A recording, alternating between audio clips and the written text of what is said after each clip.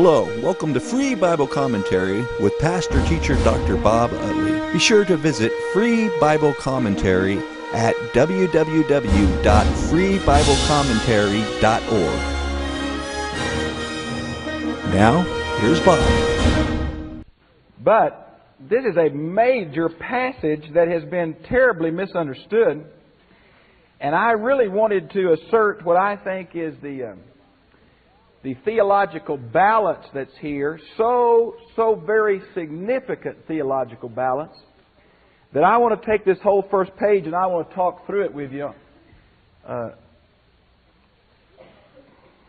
this passage has been the center of controversy between Christian perfection, sometimes called entire sanctification, and mostly the Reformed churches. Uh, but a large group of Protestantism which rejects the idea that anyone can rise to the plane of sinlessness in this life is basically the other side of this coin. Now, the tendency has been there's two tendencies that are very, very dangerous in interpreting the Bible. The first one is to expect what the Bible is going to say because you've always heard it and then read that into every text. No matter what the text says, you know what it means because you know what the Bible teaches. And of course, that kind of biasness is a real problem. We must get those theological, uh, personal experience glasses off and let the Bible speak to us. But the other real problem is that we proof text, which says when we do understand what a passage says in its context, our tendency is to say, well, the Bible says it, that settles it. And that is not true. if the Bible says it, we take it extremely seriously and then find out what else the Bible says on the same subject.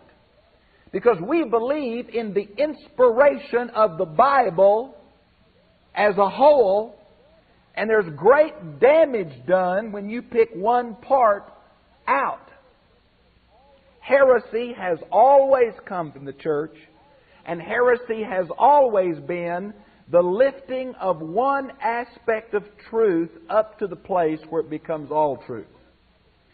Now, what has happened here, I have talked to you about so many times in so many doctrines, and I want to talk about it again. They say you have to repeat something seven times before people catch it. This should be it. Denominations have locked down on certain texts. They follow the leaders, whether it's John Calvin or Zwingli or Menno Simons or whoever you want to say. In the wake of great men of faith, interpretations get locked in and so and so said it, that must make it true, is what we really have a tendency to do.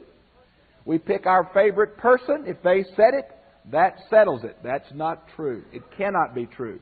And so what we do, we sit on one scripture text here or one scripture text here, and then we curse one another across the pages of the inspired text.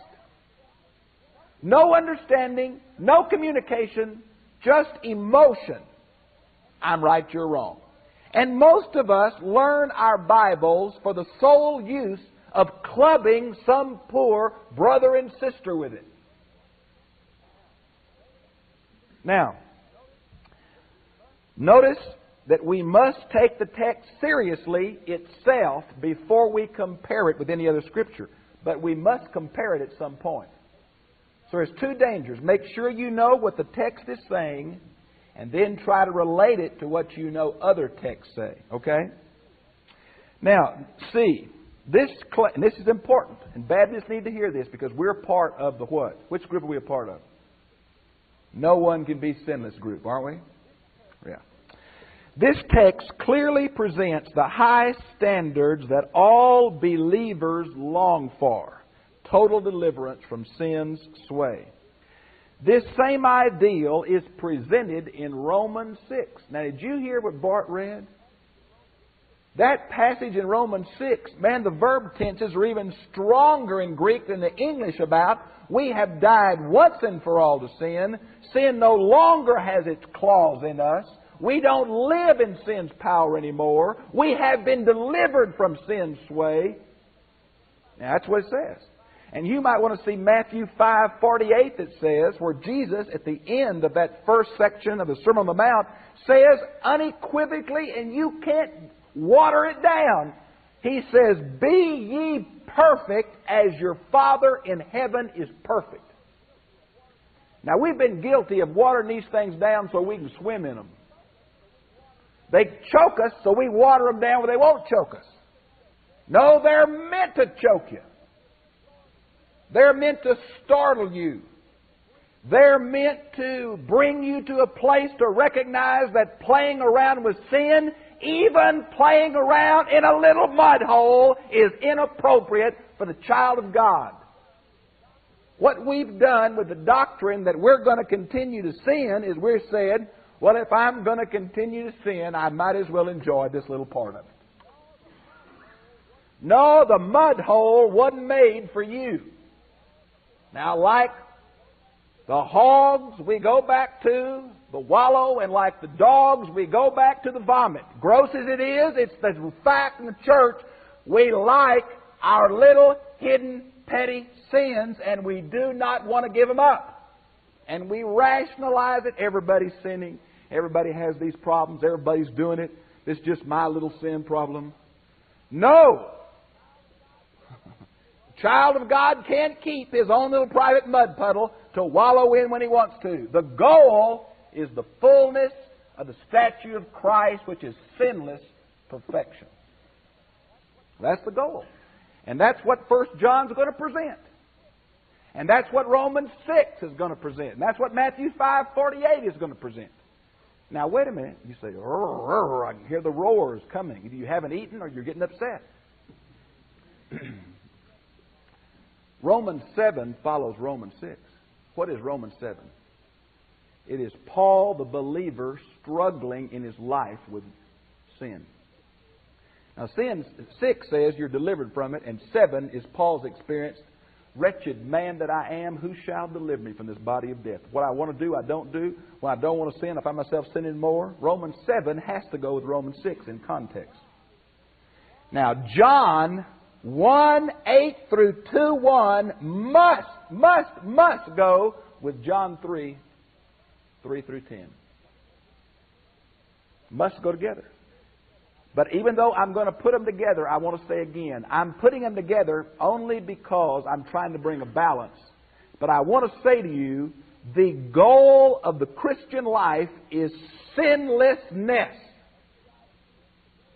That's the ideal. That's the goal.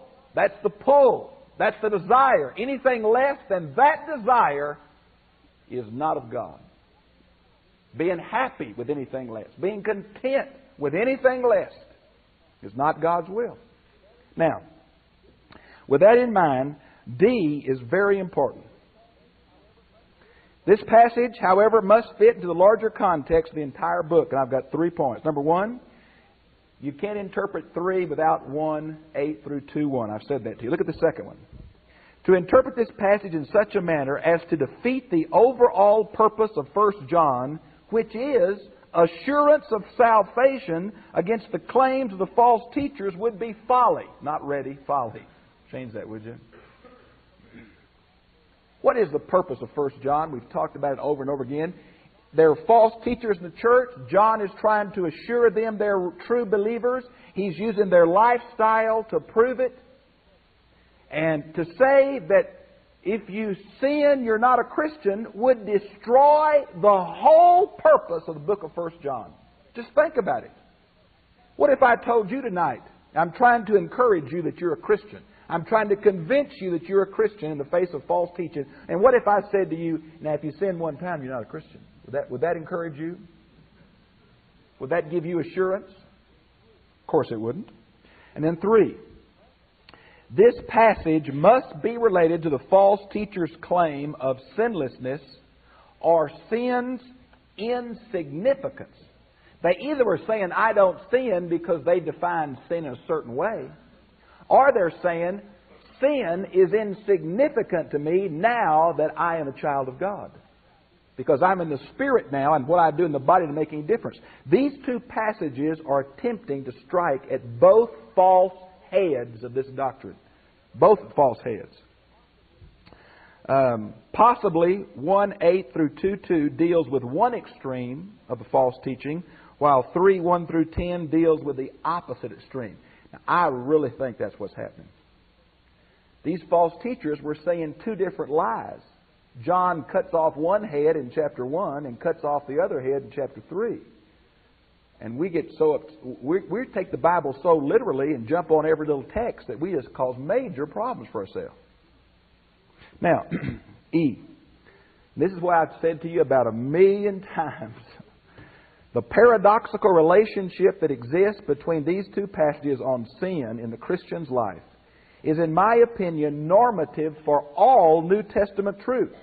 It forms the same relationship, dialectical tension, if you please, between predestination and free will. Which one's true? Yes, they are. Does it make sense that they're both true? No. It's totally ignorant that they're both true, but they're both true. Uh, let me ask another one. Uh, is the Bible a human book or a divine book? Yes. How can it be both? I don't know. Is Jesus fully God or fully man? Yes, he is. How do you know? Because the Bible says so. How can that be? I don't know. Are we condemned because of original sin or because of volitional sin? Yes, we are. Which one? Both.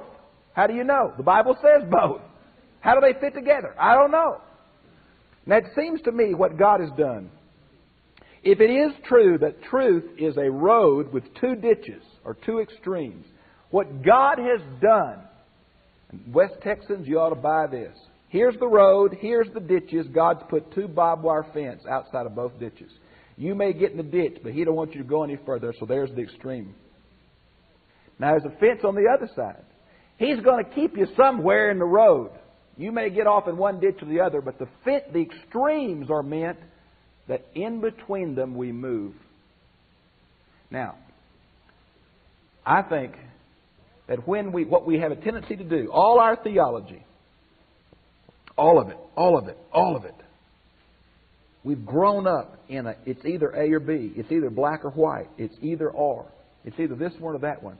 And so, what we've done theologically as Baptists and every other group that I know of, to feel comfortable, we've had to negate one fence.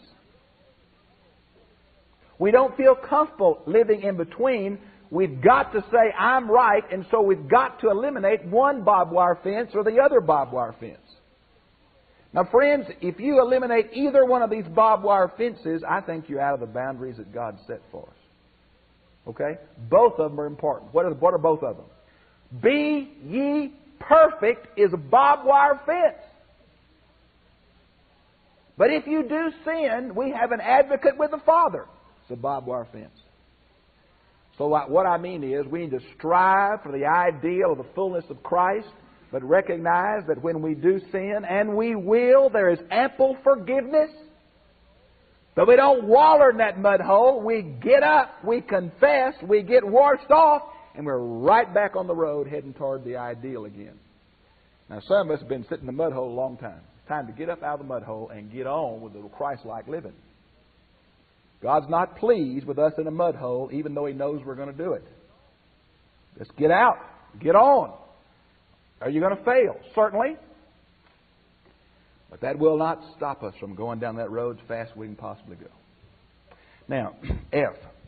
I think this whole discussion is based on a misunderstanding of the theological difference. And I, this is a theological pattern that I'm putting on the Bible. This is a philosophical grid that I am setting down on the text of the Bible to give some meaning to what seems disoriented to me. Now, want you know this isn't in the Bible anyplace. It's not even in the index. It's a mental grid that I put on the book. I think a misunderstanding is that we have to see there are three aspects to all practical theology. The first is our position in Christ. We are holy in Christ. We are justified in Christ. We are complete in Christ. We are sinless in Christ. We can do all things in Christ. Can't we? We are in Him positionally. Now, what we try to do once we recognize our positional acceptance in salvation is we try to move to the possession of the position.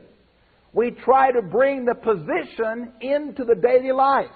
We try to bring what we already are in Christ into reality in our daily lives. And I like the two terms, position and possession. We could say standing and experience, whatever you want to say. We are something full in Christ. Now we're trying to be something full in experience. And then one day, thanks be unto God, we're going to fully possess our position. And what will that be? Second coming, resurrection day, whatever you want to say. There will be a day when the struggling with who we really are is going to be ceased because we will be who we really are. So it's position, possession, consummation, because I couldn't think of another P to go with it. Okay, let's see. And I want to read the rest of this because I think I like the way I wrote. Um, we are free from sin in Christ, yet we still struggle with it, parenthesis, and should struggle more with it. This book as a whole teaches the priority of admitting our sin and striving toward sinlessness, all the time experientially sinning less. And let me say it again. If you've been a Christian 40 years, you ought to be closer to perfection than a baby Christian. If you've walked with Jesus five years, there ought to be less sin in your life the day you begin. The mud hole ought to be getting smaller. Crude, rude, but true. I get very emotional about that because I think we've just made ourselves a little excuse. Well, I'm going to sin anyway, so I might as well enjoy it. Yuck, yuck, yuck, yuck.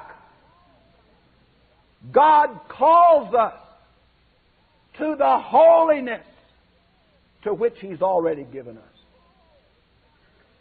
The pull is not to the mud hole once we're a Christian. The pull is to maturity.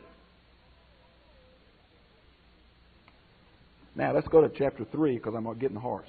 By the way, here are the two books I mentioned to you down there under, I think I gave you some books, didn't I? Some of you have never read Wesleyan theology. Now, I want to tell you, I love John Wesley. I don't agree with him always. But, friends, if you put me on an island, I'll take John Wesley over Calvin. Give me John Wesley's love, I will tell you. Most of you have never read anybody other than a Baptist theologian. This will bless your heart. Christian Theology, three volume set by H. Orton Wiley. This is volume 2, page 440 and following. It's his discussion of perfection. And I want to tell you, to hear it from them, it sounds plumb good. You've never heard it from them. You've only heard folks blast it. Y'all read this. Wesleyans are more Arminians. And I'll just take as many of them as I can get. People always ask me, Are you an Arminian or a Calvinist? You bet I am. This is by B.B. Warfield. You don't get no more Calvinistic than this unless, well, you just can't. B.B. Warfield. This is a book on perfectionism, where he talks about what he thinks the folly of this doctrine. Now, there are two books from two uh, bright lights in the field, and if this interests you, you ought to check them out. Chapter 3. Now, really, I think a new paragraph should begin in verse 28. So if I was going to be logical, I'd start with 28 and go through 310 tonight. But I've already dealt with 328 and 29. But I want to pick up again. In 329, notice it says, is born of him. Now, I started marking in my Bible in colors. And the reason I do that is because it's helpful to me to keep certain theologies together. You see all, some of you can't, you see all those yellow ones? The doctrine of the rebirth is over and over here. It's mentioned in 229, 31, 32, 39, uh, twice in 39, and in 310. Now listen to me. John uses born again where Paul uses adoption.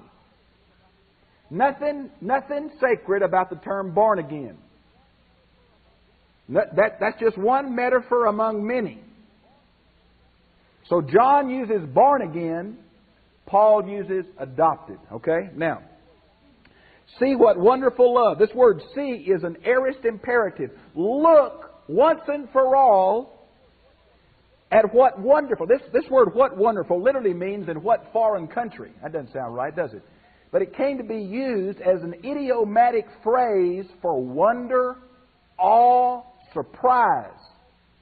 See once and for all what foreign love. Do I always say foreign love? It's unearthly. It's unnatural. It's supernatural. It's God's love. It doesn't fit in our world. See what wonderful love, agape love. I think agape, which means God's sacrificial love with no demand for response, is parallel to the Old Testament love, Hesed, which means God's no strings attached covenant love. Aren't you glad God loves you the way you are? Now, He's not finished with you but wherever you are, that's where He starts walking with you. That's what I'm trying to say. It's not that He accepts your sinfulness, but wherever He finds you on the road, He'll walk right beside you from then on, okay? No strings attached. He'll take you where you are, and He'll take you where He wants you to be loved, okay? The Father has bestowed, perfect tense, once and for all bestowed, on us in letting us be called, aorist passive, once and for all by an outside agent, we are called. That is an honorific word. Think. Think with me. Tonight, on your forehead, can you, those of you who have a lot of hair, pull it back. Some of you can just see it without it. Right across your forehead, if we're going to speak in symbolic eschatological terms, is written, Child of God. Now, there's going to be another name written there one day, isn't it? child of the beast. But friends, I want you to know God's got a little machine. It's, not really a fluorescent tube. It's just similar. And when you go up, he'll go, Shh, and if he sees that, you can get in.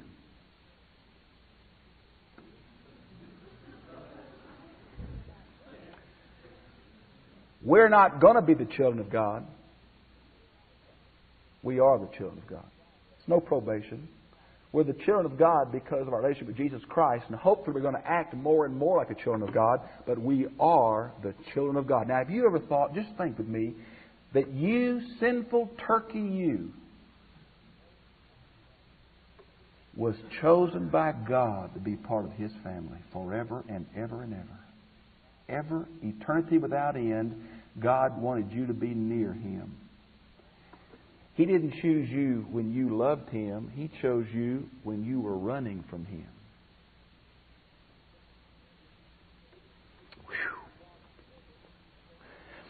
Now, God's children, wouldn't you say that's another emphasis like being born again? Same, same kind of metaphor? And that we are. Does someone have King James here? You'll notice that, and that we are is not in your text, is it? Of 3 1. King James is based on the Byzantine family of manuscripts. They were a late family. How it happened, I don't know, but that late family left out this whole text. Now, usually King James adds things, but here it left it out. This little phrase, and such we are, present tense, is in the papyri, in Aleph, in A, in B, in C. Those are the five biggies have it every place. So it should be there. And that we are. This is why the world does not know what we are. Now, friends, what is the world? We'll go back to chapter 2, verses 15 through 17, because you wrote it in your Bible, because I asked you to, remember? Definition of the world. Someone read back to me that definition. The world is. Good. Human society organized and functioning apart from God. It doesn't matter what society, capitalism, communism, dictatorship. What is not what we're talking about. It's just human organization in whatever form without God at the center. Okay? Now the world does not know us. Why? Well, friends, the world didn't know him either. You ought to see John 15, 18, and 19, John 17, 14, and 15. Jesus says, Don't be surprised when the world hates you. The world hated me. If the world hated me, it's sure going to hate you if you're mine. Now think about that. I'm going to play Vance Havner for a minute. Another sign that you are a Christian is when the world steps on your nose. The fact that you've been had your nose stepped on by the world is a beautiful sign that you're a believer. If they stepped on it because you're a Christian. Now, some of you got stepped on for other reasons. But. Persecution is a sign that you're a child. This is another evidence you're genuine. It's when the world does not know you. Now, notice where it mentions here then. We are because it has never come to know Him. Verse 2 Dearly beloved, now we are God's children. There's an emphasis on rebirth again. But what we are going to be has not yet been unveiled. You mean John, who in chapter 2, verse 27 says boldly, uh, the anointing of the Spirit which you've received still remains in your heart, so you have no one to tell you to teach you anything because you know it everything. Look at that. He teaches you about everything. You mean John, who says he knew about everything, doesn't know how it's going to be? Yeah, because 227 is not exhaustive knowledge, it's salvation knowledge. John is saying, I am an agnostic about how it's going to be one day. I'm so glad John didn't know, because Jesus didn't know. Now, what John's saying is, I don't know what it's going to be like. Now, you know, I like 1 Corinthians 2 9, where Paul says, Eye has not seen, ear has not heard, nor entered into the heart of man the things that God has prepared for those who love him. And that's as close as Paul could get to describe heaven. He was up there in the third heaven. He came back and said, You just got to fly it. Now, notice where it says, uh, has not yet been unveiled. Okay, he just didn't know. We know that if it is unveiled, he is unveiled, what it's talking about. We shall be like him because we shall see him as he is. Now, what does that mean? Something's going to happen to us. You know what it talks about the moment of twinkling of an hour going to be changed? What's going to happen? When the eastern sky opens up, the Lord Jesus comes back on the clouds of heaven with all the angels and all our dead loved ones and friends from time immemorial who trusted Him. When we see Him, bang, that's when the change is going to come. Moment we turn our eyes toward Him, whatever He's like, is going to come right here. We don't know what He's going exactly going to be like. But whatever He's like, the moment we see Him, we're changed into His likeness. There's a several scripture texts for that. Let me give you a few. You'll love these. Look them up later. 2 Corinthians 3.18, Philippians 3.21, Colossians 3.4. Don't know what he's going to be? When we see him, we'll be like him. Now, friends, the alternative to being like him is what? being damned. There's not much of a middle ground. You're either going to be like him or you're going to be separated from him. You're either going to hold your hand out and say, Oh, Lord, or you're going to run the rocks and the trees and the hills to fall on you and try to get away from him. That's all. There's only two ways. Now, notice where it says here, and we shall be like him. You'll see First uh, Corinthians 13, 12, where it says, Now I know in part, but one day I'll know as I have been known. Now that's the same kind of thing coming from Paul instead of John. And everyone, now I want to show you something. There is a ton of everyone's through here. There's an everyone in 229. There's an everyone in 3.3. There's an everyone in 3.4. There's two everyones in 3.6. There's an everyone in 3.9. And there's an everyone in 3.10. Why so many everyones? John's saying, his, the way he's always said it, friends, there are no exceptions to this. You're either of the God or you're of the devil. You're either black or you're white. You're either living right or you're living wrong. You're either going to be like him or you're going to be like the evil one. There's, that's all there is. And everyone is in those two. That's why, that's why there's so many of them through here. And everyone who puts his hope in him. Now, the word hope here speaks of resurrection day, the second coming tries to make himself pure as he is. Now listen. This is a present tense. And the word himself is included in the text. So what we have here is continues to purify himself. Now, is, is, that, is that something that sounds awkward? Well, if you got these. Does God do everything for us, or does man participate in God's work? Yes. As receiving Jesus Christ in John 1:12 is part of God's plan for salvation, so purifying ourselves is part of God's plan in sanctification. We have a part in justification, we have a part in sanctification. We must yield ourselves to the cleansing of God. We must be active in purifying ourselves. I want to give you a ton of scriptures that say that. Let me give you just a ton of them. I think you have most of them uh, with you. Let's see. James 4 8, 1 Peter 1 22, 2 Corinthians 7 1 are all just like that. Now, this word uh, purify is a very important word. It's used in the Septuagint of the high priest taking a bath and, and offering that sin sacrifice before he walks into the Holy of Holies. Now, I'm going to put it crude again, would you? We're on a road toward Christ like maturity. Get yourself out of mud holes. I don't care how much you enjoy them. I don't care how everybody's doing them. I don't care how you can rationalize them. Get out of mud holes and get back on the road. Now, there's no doubt in your mind where the mud holes are. You know what you've been wallowing in. Get out of that thing.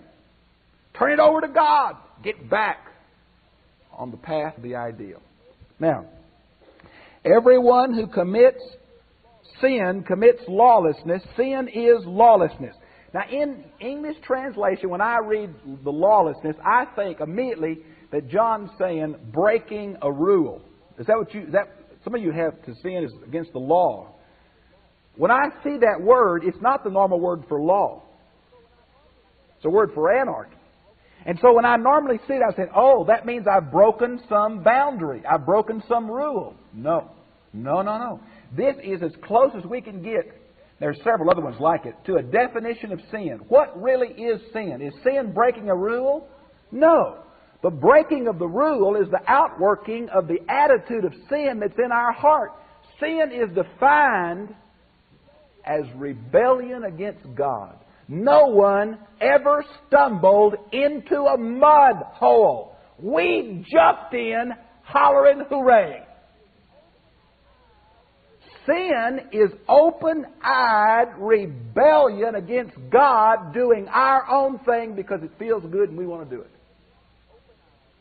Now, that's what lawlessness means open eyed, known rebellion. Nobody's going to say, God, I was trapped by sin. It jumped on me. You know what it was? You knew it and you held out your hands and said, Come on. That's the truth. Now, some other places where sin is. Uh, somewhat defined. I think I put in your outline. I didn't write it in my Bible. Yeah, I did. Romans 14:23, James 4:17, 1 John 5:17 or other aspects of sin. Isn't it funny the same word lawlessness is used in 2 Thessalonians 2 verses 3 and 7 for the antichrist that we talked about in the last the last section of our teaching? The antichrist knows the truth and he's open-eyed rebelling against God. Now, you know that he, that he appeared to take away our sins. That's a beautiful thing. This word take away means to lift up and bear away. Now, there are two possible backgrounds to this. One of them is Leviticus 16, the scapegoat, that one of them was killed and one of them bore the sin symbolically out of the camp. But the other one is Isaiah 53 where it says He bore our sins on the cross. And there are many passages are in your notes. So either it's the scapegoat taking sin out of the camp, or it's Jesus carrying the sin load of the world on his shoulders. Whichever it is, aren't you glad that he did it? Took away our sins. That's what. Uh, remember when John the Baptist first saw him and what he said? John one twenty nine. Behold the Lamb of God that taketh away the sin of the world bears it away. Now, and the last little part of this thing, and there is no sin in him. It's present tense. He never sinned. He, he, no, he just hadn't sinned. Then, now, whatever. The sinlessness of Jesus is absolutely crucial if we're going to teach the vicarious substitutionary atonement. If he sinned, he had to die for his own sin. If he didn't sin, then he can take my place. Now, the sinlessness of Jesus is mentioned so often in the Scriptures. 2 Corinthians 5.21, Hebrews 4.15, Hebrews 7.26, 1 Peter 1.19, 1 Peter 2.22. He had no sin. Now, verse 6. No one, that word everyone, who continues to live in union with him practices sin. No one who practices sin has ever seen him or known him. Practices sin, both of those are present tense. Now listen to me. Turn back over quickly to chapter 2, verse 1. Chapter 2, verse 1. John says this, after saying, if you say we have no sin, we're lying, and you got to confess your sin. After that, he says, My little children, I'm writing you that you may not, look at your text, sin. But if anyone sins, we have an advocate with the Father. Both of those terms for sin are in the aorist tense. An aorist tense speaks of completed action. So what John is saying, you may sin now and then, Christian, and if you sin now and then, there is an advocate for now and then sins after you're a believer. But now in chapter 3 he's saying, if your life is characterized by living in the mud holes, you never met him. You never met him in the past. You don't meet him in the present. You've never seen him. Perfect. Two perfects. You've never met him.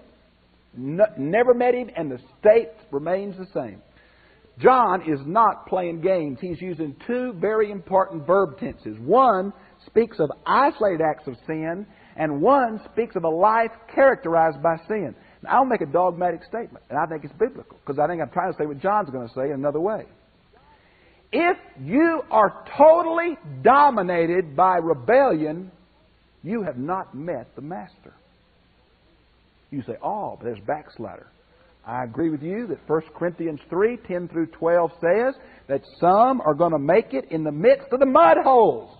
But, you want to trust in that? John's saying the way you know you're a Christian is because you walk like he walked. Now, you may sin now and then, but if your life is characterized, dominated habitually by sin, there is a major problem in your relationship with Christ. Now, you see, most of us have taken sin so lightly, we've got major mud hole problems in our lives. And we're just saying all Christians have cake mud on them. It's all right. It's just normal. It is abnormal. Mud holes are abnormal for children of God. They may happen, but they're abnormal. Now, notice where he continues in, verse 7 Dear children, avoid letting anyone lead you astray. Present imperative. Look back at 226. I write with reference to those who are trying to lead you astray. The word seduce. There are some people, I want you to know that tonight, there are some people dressed in sheep's clothing, carrying a large King James that want to lead you into the mud holes. And they are slick and they are logical. And you know how you tell them? They don't emphasize Jesus and they say, Come with me to the mud hole. Now, friend, if someone doesn't emphasize Jesus and said, Come with me to the mud hole, you ought to know who they are. By their fruits ye shall know them. Not hard.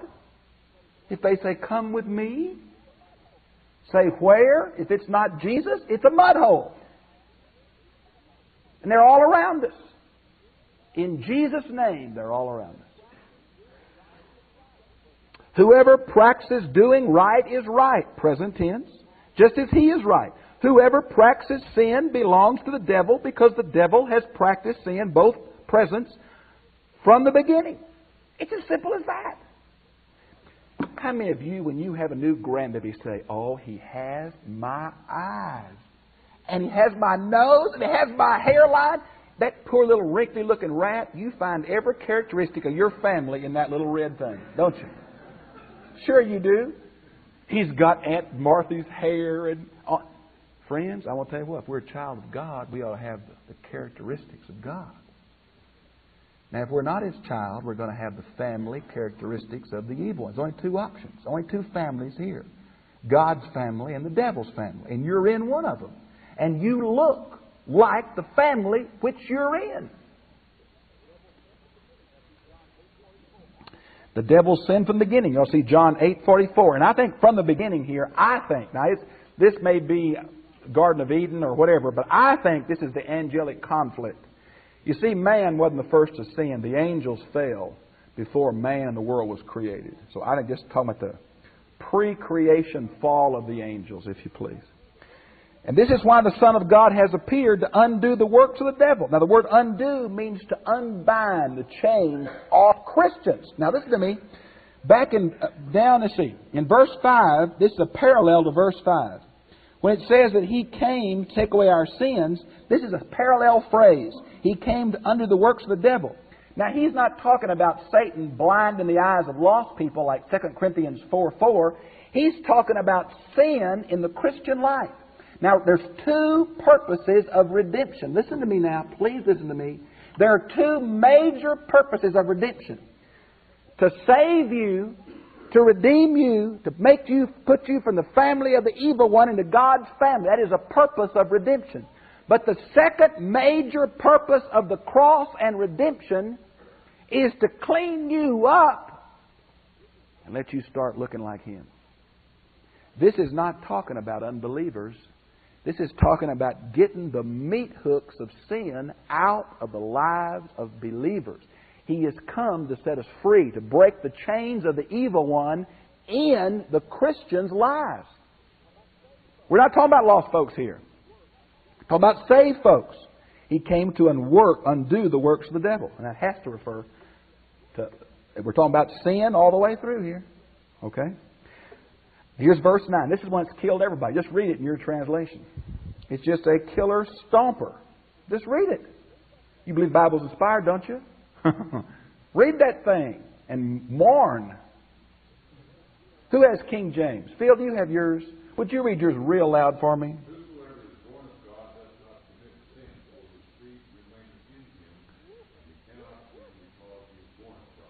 Woo! Woo! Woo! Anybody want to stand up? Anybody here hadn't been in the mud hole the last 30 days? Now that is a that is some statement. Just think what he's saying. Anyone who is born of God cannot sin because God's seed is in him and he cannot sin. Now, can you imagine why this has broken the back of many a person right here? Now, this is where most perfectionists put their stool. Boop. Now, how do they do it? Well, they redefine sin. Now, you, you know and I know that none of us live above known sin. So if you redefine sin, it's possible that you can define it in such a way that you don't do it, isn't it? That's exactly what most schools of sinless perfection do, is redefine sin in such a way they can live with it. Now, John Wesley did say this was, this was possible in the Christian life, but John Wesley never claimed to have arrived there. Now, some of his followers, followers claimed to arrive there, but John Wesley said, I think this is a potential. I think in Christ I can do this, but I have never reached there myself. Well, that's where I am. John, let me come along with you, friend. I think that is an ideal that I've never reached, but I still want to be on the way. God bless John Wesley. Now, these are present tense verbs. This being born of God, though, is a perfect passive, just like 229. We're born of God in the past, we remain the children of God by an outside agent. Makes a practice of sinning. Present tense. No one habitually sins who is born of God. Why? Because, now my translation, look at yours. Please, please look. I'm in verse 9. Do you have the God given life principle? Or do you have his seed? What do you have? Now, the Greek word here is the word sperma. That's right. So we're talking about a human seed, possibly. Because this is used in the Old Testament all the time for human male sperm. All the time. And so that's one of the theories. It's referring to. Uh, it's, a, it's similar to the phrase born of God, okay? It's just another way of saying God's children. And I think that's possible. Augustine Luther said, it's God's word that abides in us and we can't sin. And they got a couple of passages. Luke 8:11, James 1:18, 1 Peter 1:23, John 5:38. Well, John Calvin said it refers to the Holy Spirit. John 3, 6, and 8 in the Gospel. Some say it refers to the divine nature or the new self. Okay, 2 Peter 1 4, Ephesians 4 24. Some think it's synonymous with the being born of God. That's what I said about sperma. That's Luke 1 55, John 8 33 and 37. And some say it was used by the Gnostics as a catch term, and John just picked it up and used it against them. And that is true, it was used by them. Now, verse 10 is a summary of verse 3 through 9.